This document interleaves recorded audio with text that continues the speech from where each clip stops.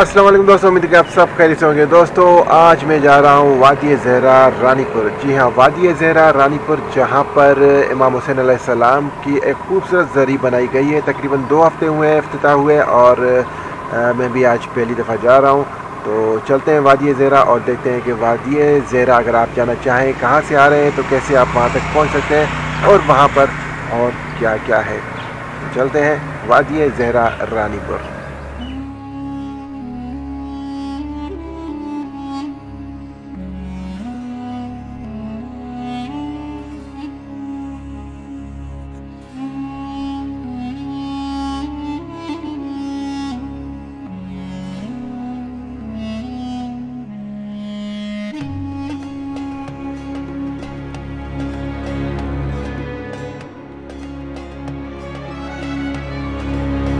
Okay دوستو، خیرپور میرا home city ہے اور خیرپور سے وادی زہرا تک کا سفر تقریباً تیس سے پینتیس کلومیٹر ہے۔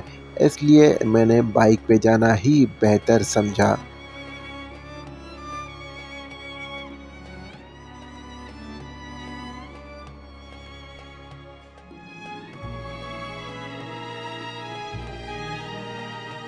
خیرپور ڈسٹرکٹ کھجوروں کے حوالے سے بہت ہی مشہور ہے، کیونکہ یہاں پر آپ کو ہر جگہ کھجور کے درخت ہی نظر آئیں گے۔ یہ آپ دیکھ سکتے ہیں کہ ہم روڈ پر ہیں اور سائٹ پہ بھی آپ کو کھجور کے درخت ہی نظر آ رہے ہیں۔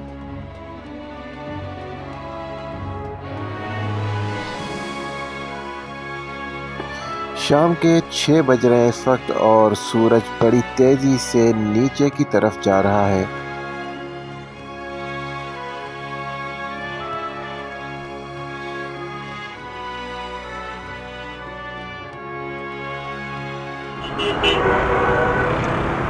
اوکے دوستو، میں اس وقت نیشنل ہائی وے پر موجود ہوں اور یہ آپ دیکھ سکتے ہیں یہ جو ٹریفک ہے، اس طرف سے کراچی سے ٹریفک آ رہی ہے اور کراچی اور پھر حیدرآباد، پھر رانی پور رانی پور سے تقریباً پانچ کلومیٹر چار سے پانچ کلومیٹر ہم یہاں آ چکے ہیں آگے کی طرف۔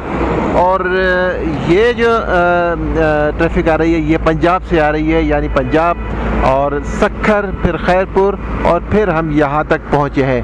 اب یہ آپ سامنے دیکھ رہے ہیں، یہ دو گیٹ بنے ہوئے ہیں۔ سامنے لکھا ہوا ہے، باب حضرت سچا سرمس یعنی تھوڑا سا آگے اس راستے سے ہم جیسے ہی نیچے اتریں گے تو حضرت سچل سرمست رحمت اللہ علیہ، جو کہ سندھ کے صوفی شاعر ہیں، ان کا مزار ہے۔ اور تھوڑا سا آگے، تقریباً ایک کلومیٹر اس سے آگے ہماری منزل ہے۔ تو ہم یہاں سے آگے چلتے ہیں۔ یہ بائک ہے جناب میری، جس پہ ہم آئے ہیں۔ اور بائک پہ ہمارا سفر ہے آج جاری۔ تو تو جناب چلتے ہیں اپنی منزل کی جانب۔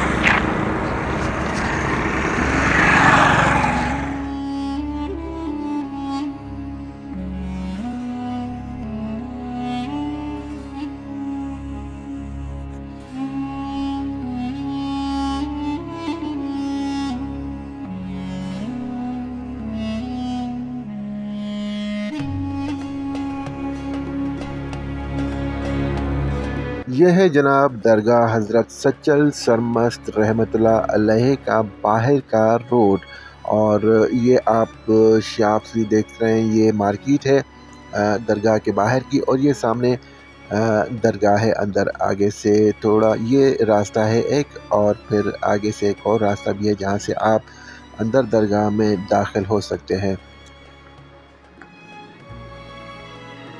وادی زہرا تک پہنچنے کے لیے صرف ہمیں دو منٹ چاہیے آگے۔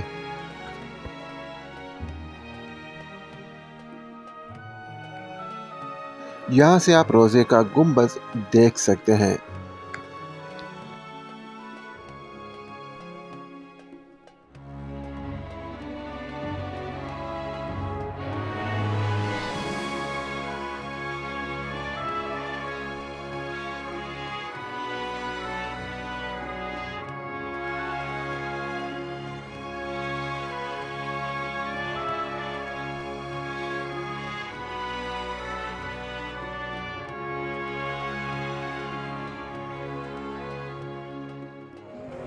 یہ پارکنگ ہے بائکس کے لیے اور اگر آپ اپنی گاڑی پر آئے ہیں تو آپ اپنی گاڑی کہیں پر بھی کھڑی کر سکتے ہیں۔ یہ مین گیٹ ہے جو کہ صرف مردوں کے لیے مخصوص ہے۔ مرد ہی یہاں سے انٹری دے سکتے ہیں اور تھوڑا سا آگے ہی ایک الگ دوسرا گیٹ بنا ہوا ہے جو کہ صرف لیڈیز کے لیے ہے۔ یعنی باہر سے ہی لیڈیز اور مردوں کی انٹری الگ الگ ہے۔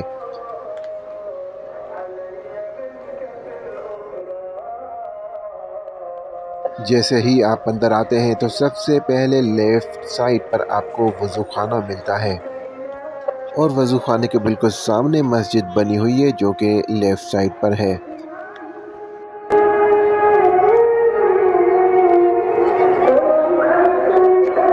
روزہ ماشاءاللہ بہت ہی خوبصورت بنا ہوا ہے اور صفائی کا بھی خاصا خیال رکھا ہوا ہے۔